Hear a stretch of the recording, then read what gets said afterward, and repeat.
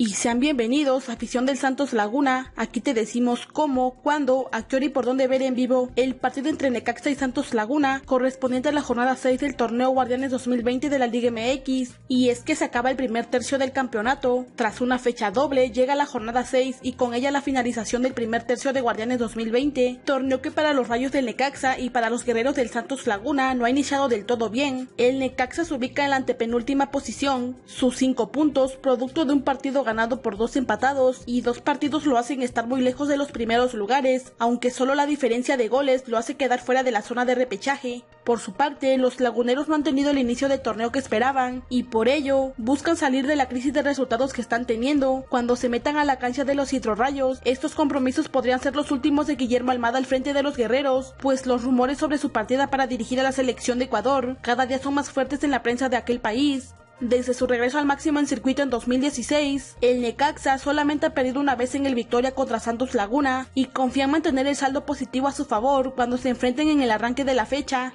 Y bueno, el partido se llevará a cabo este 21 de agosto en punto de las 7 y media de la noche. El juego se llevará a cabo en el Estadio Victoria de Aguascalientes y los canales por donde podrás seguir en vivo la transmisión será a través de la señal de TV Azteca y por la señal de TUDN. ¿Y tú qué marcador le pones a este cotejo? Déjame tu opinión en la caja de comentarios.